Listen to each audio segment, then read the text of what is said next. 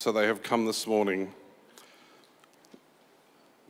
to, as a show of support, but also just to be family with us. And I just want to say, as a leadership team, we really value that, and we want to say thanks.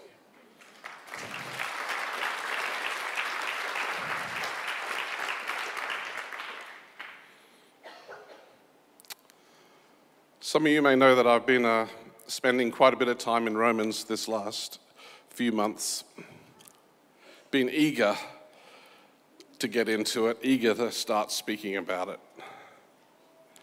And so this morning I am going to share a little bit from Romans chapter 1, specifically verses 16 and 17, and then launch on from there. I will read it out to you first before we start. Paul, in addressing the church in Rome, establishing, as many people feel like these verses establish the purpose of his letter. And he says this I am not ashamed of the gospel because it is the power of God that brings salvation to everyone who believes, first to the Jew and then to the Gentile. And in verse 17, he says, For in the gospel, the righteousness of God is revealed, a righteousness that is by faith from first to last, just as it is written, the righteous shall live by faith. Paul, such a passionate man, such a passionate lover of God, writing to the church in Rome, a church that he didn't start, he didn't establish it, but he is so eager to go there and preach and see the gospel transform lives.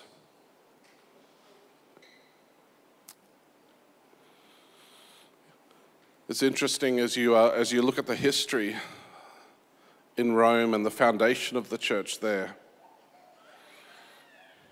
So much had been happening.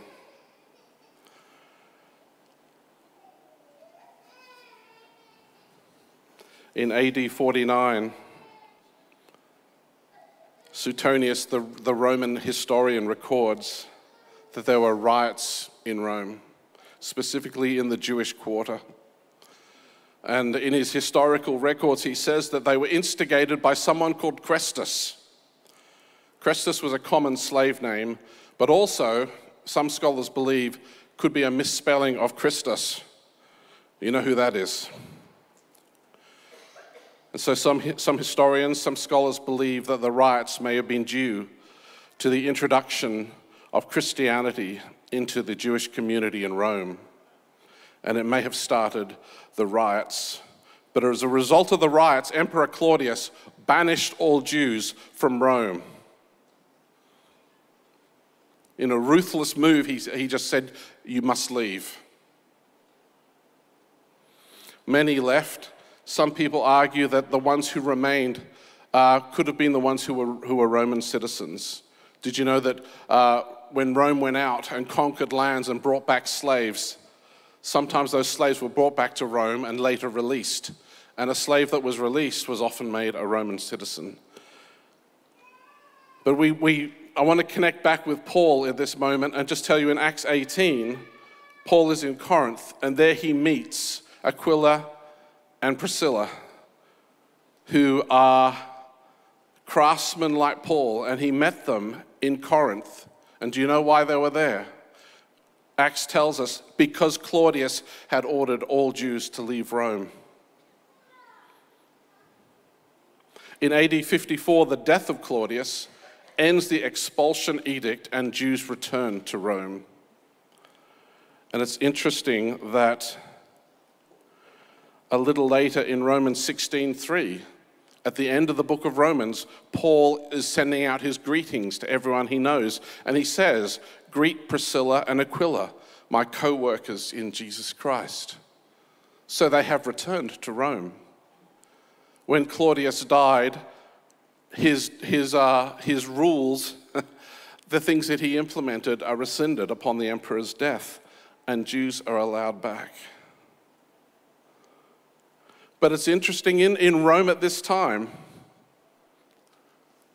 the church has been established. Did you know in Acts 2, on the day of Pentecost, it says that there were visitors from Rome there, amongst those who were saved on that very day. So we can assume they went back to Rome and they established the church there. After Claudius' edict had been rescinded and the, and the Romans and the Jews have come back into Rome,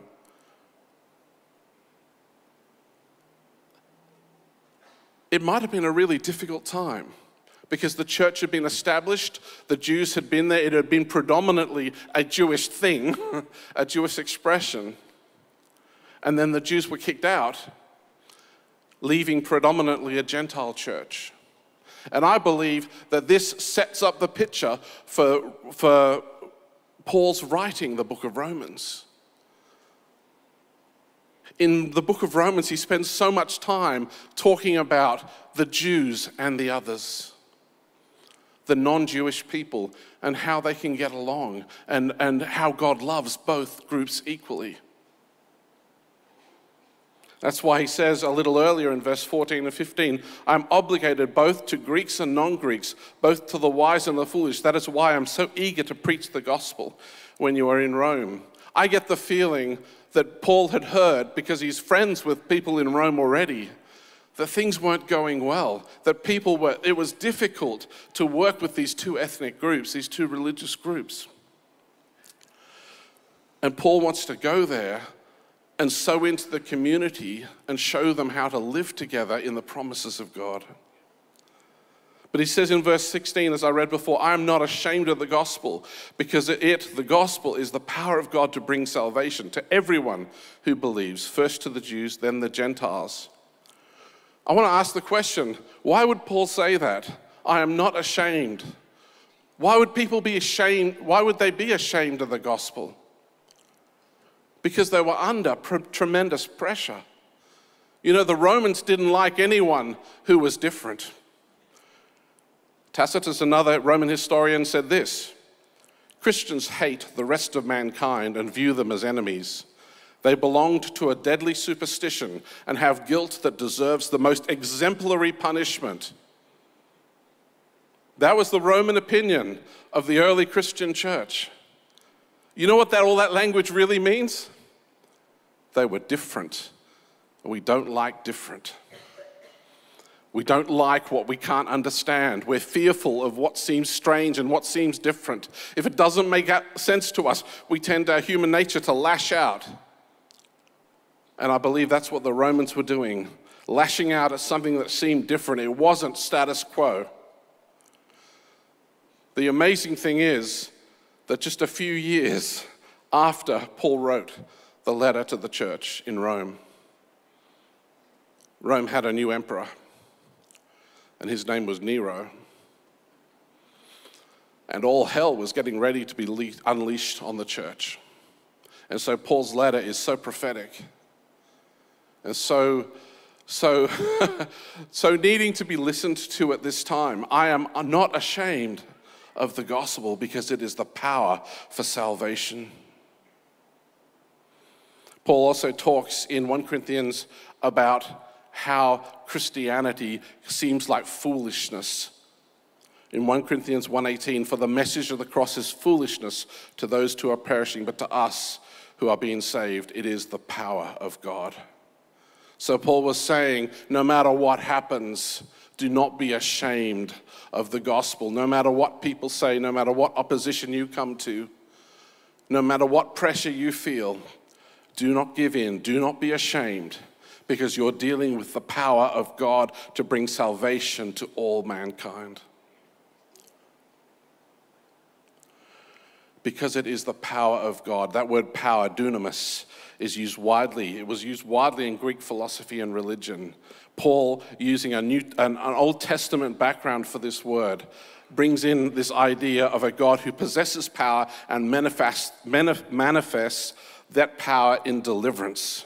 Psalm 77, 14 to 15. You are the God who performs miracles. You display your power among the people. With your mighty arm, you redeemed the people. So here we have this idea of this power for salvation is a power for deliverance and a power for redemption. Amen?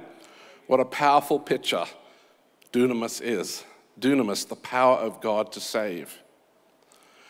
And as I said to you before, this big deal between the Jews and the other people groups. That power of salvation was given first to the Jews, then the Gentiles. And we know that in the middle of Romans, chapters 9, 10, and 11, Paul will talk a lot about God's promises to the Jewish people and these promises to all of us as well.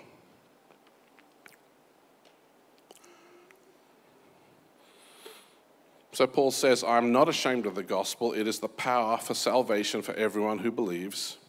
And then in verse 17, he starts off with the word for. When you see the word for, you've got to ask, what's it for? Little trick there.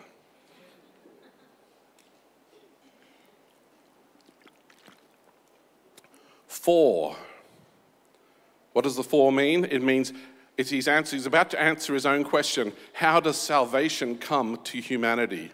Verse 17 For in the gospel, the righteousness of God is revealed.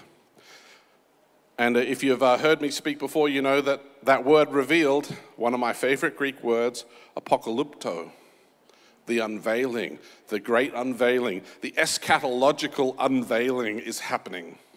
This is Paul's eschatological language, end time language. The gospel, in the gospel, the righteousness of God is being revealed.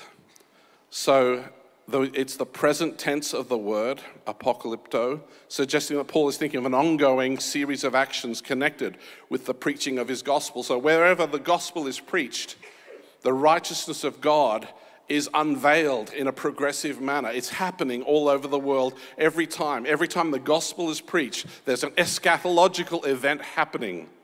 Isn't that amazing? I think it's amazing. There is an eschatological unveiling happening it is the revealing of the righteousness of God.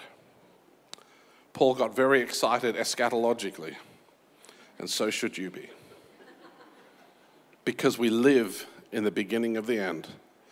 Paul's, if, if you're trying to understand Paul, and you'll read this all the time with Gordon Fee, is that Paul had an eschatological mindset. He was very aware that we live in the end times. And a lot of theologians will point to this idea of patience and anticipation in Paul. He anticipated the end times, yet he was patient for God to work. That's just really interesting to try and balance those two things. I digress. The righteousness of God, sune theo. There you go. sune is the common Greek meaning of that was justice in what sense was God's justice or righteousness, how was that going to put people right with Him? How was, you know, he said, in the gospel, the righteousness of God is revealed, a righteousness that is by faith. This is how salvation is going to happen. So, what is this word for righteousness of God? What does this mean, these words? Uh, I have been through many books, I've read many uh, commentaries, and right now I'm going to try and give to you an incredible brief Reader's Digest form. I don't know why people say that because I don't know anyone who reads the Reader's Digest anymore. no offense if you do, it's probably really good. I just don't read it myself. But in a brief form and in the minutes we have left, I just want to quickly bundle this up so that I can move on. so, in what sense this word, uh, this, this word, dikaiosune, this, this idea of righteousness. Three distinct ways we can understand it, and through church history, three different ways we've dealt with it. One, way, uh, method one is to understand it as an attribute of God, an attribute of His justice or His faithfulness, especially as He reacts, as He responds to covenant. Two is to do with a status given by God a new, a new standing imparted to the sinner who believes. And this was, this was for, for Luther, this was his idea of good news, a new status. And one of the, one of the commentaries said, in contrast to most medieval theologians, Luther viewed this righteousness as forensic. It's, it's about standing, it's about judicial status, the righteous status that is from God. And the third one is the activity of God. So we've had an attribute of God, a status given by God, and the third one, an activity of God.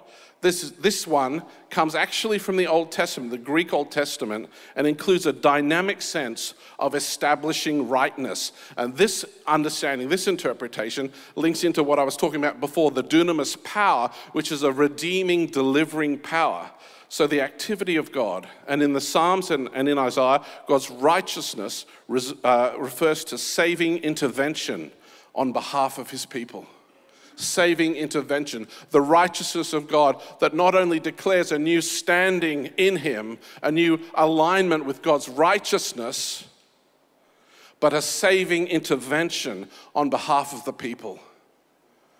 You are made right with God. It's not just a passive thing, it's a reaching out of God to find the lost, to find the hurting, to find the one, to leave the 99 and find the one that's the, the saving righteousness of God. It's a manifestation of the saving action of God. So if we combine all three, are you still with me? It's all right, you're doing well. Combining all three of these, God's righteousness is about God being in a right place, his action in making you right before him as well, and the resultant status of those who are made right. In 2 Corinthians 5:21, he attacks this again and says, God made him who had no sin to be sin for us, so that in him we might become the righteousness of God. He made him who was no sin to be sin for us, so that in him we might have right standing with God. So, do you sense from that God's outreach into the world, desiring to bring sons and daughters into right fellowship with the Father? I want to read this same verse, verse 17 from the Passion Translation, because it excites me. This gospel unveils a continual revelation of God's righteousness, apocalypto a continual revelation. Every time the gospel's preached, there is more and more unveiling of God's future plans. The fact that God has a plan for humanity, an eternal plan. A perfect righteousness given to us when we believe. A perfect righteousness, perfect right standing given to us when we believe. And it moves us from receiving life through faith to the power of living by faith. So, this righteousness that is attained through faith is maintained through faith. And through faith, we receive his righteousness and we receive his empowerment to do the very things we couldn't do when we were separated from him. So, it's not a matter of earning his righteousness, it's a matter of receiving it and in receiving it, being empowered by it to live the very life you are always called to live. So the Greek words dikaiosune theo refers to the power of the gospel to impart to believers God's righteousness. The gospel is not just a story about where you need to be, it's about the power to get you there. This is now the justifying power that comes through faith and the righteousness for God coming to us who believe. And I love this that I, I read in another commentary. And see, I'm not boring you with the names of the commentaries or the authors, just grabbing highlights for you. That's my job. Go through all this stuff, grab the highlights, and show them to you. for Paul, righteousness of God is a relational concept, bringing together aspects of activity and status the act by which God brings people, the act by which God brings people into right relationship with himself. No wonder Paul was excited about it. And he sits there penning this letter or speaking, dictating to the person who was penning the letter. Have I mentioned this before? That when Paul sent his letter, he would have sent it with someone who he trusted as a worthy carrier and reader of the letter? Someone who is equipped to read Paul's letter out to the people in Rome and to answer any questions. An emissary, an ambassador of sorts, who was equipped not just to deliver the scroll, but to read it to the people as if he were Paul himself and answer the questions that they may have. For Paul, righteousness of God is a relational concept bringing people into right relationship with himself. Paul looks out over the church in Rome, sees the division, sees the confrontation, sees the persecution, sees people trying to make sense of this life in Christ and trying to make sense of the people to their left and to their right. A multitude of different ethnos, ethnic groups, people groups, different ideas, different backgrounds, people who were raised in the synagogue, people who had been hanging around the synagogue, people who had come from a pagan past. And Paul pens this letter and says, There is a righteousness available to all. And it's got nothing to do with your background. It's got nothing to do with your performance. It's got nothing to do with what you did. And it's all to do with what he wants to do for you. He wants to restore you to a place of right standing. And yes, there is the technical language there about uh, the sort of the language of the law court and the language of justification and, you know, of correct position and status. But here, the father's heart here, he runs out, he reaches out to his sons and daughters, and he says, I've made a place for you. Accept it by faith. Have trust in God. Express your faith and step in as sons and daughters. As I was reflecting on this yesterday, I was reminded this is like my go to verse, James, or verses, sorry, James chapter 1, 16 through 18. It's such an important verse for me. Do we have it on the screen?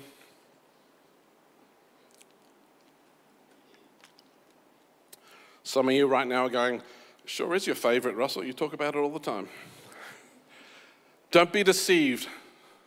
My dear brothers and sisters, every good and perfect gift is from above, coming down from the Father of the heavenly lights, who does not change like shifting shadows. He chose to give us birth through the word of truth, that we might be a kind of first fruits of all He created.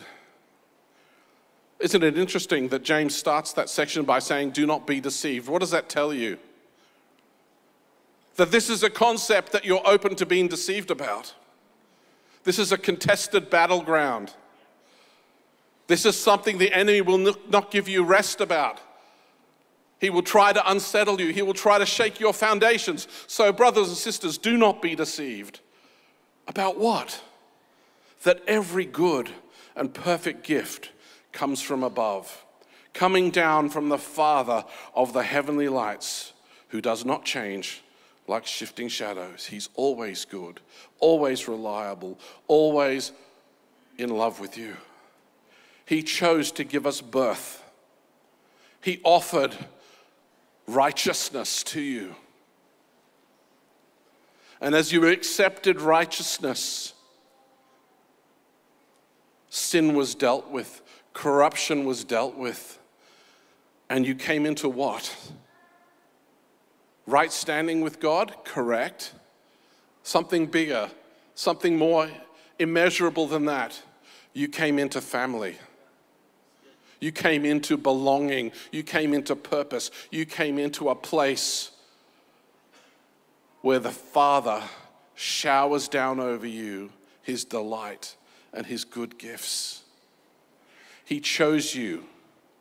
He chose to give birth through the word of truth that you can be a first fruit of all created. What does a first fruit mean? It's talking about the first harvest. So you imagine, get into your sort of agrarian mindset right now. Imagine that you have a crop and you've been watching it, you've been caring for it, you've been watering it, you've been getting rid of the weeds, you've been stressing about the. Yeah, I'm just getting into a moment there with myself the caterpillars that eat everything. Someone help me, please. I've been into the veggie garden again lately. You know that. Oh my gosh. I mean, leave a little for me, please. They're thorough, I'll give them that. They do their work well. I digress. The first fruits were the first of the harvest and often co- or collected and given to God as an offering of thanksgiving. Thanksgiving for what? For the great harvest that is to come, for this future wonderful abundance that is about to break forth for us. I get great pleasure of walking out to my veggie garden and going, There is abundance. We will eat tonight. We will feast on the harvest. I have had some nights like that. I'm not lying. I've had my moments where I've been, to give th- I've been able to give thanks for such a great harvest. And that the Father looks at you and goes, You're standing in me now. I've made you right. I've brought you back in as sons and daughters. I've released you from everything that held you back. I have birthed in you new life declared you to be a new creature. And you are the first fruits of his eternal plan. The life you live now in the Spirit, the life that flows out of you, the life that flows out of you when you touch other people, when you bless your brothers and sisters, when you pray for them, when you release life over them, is but a first fruit of what is to come.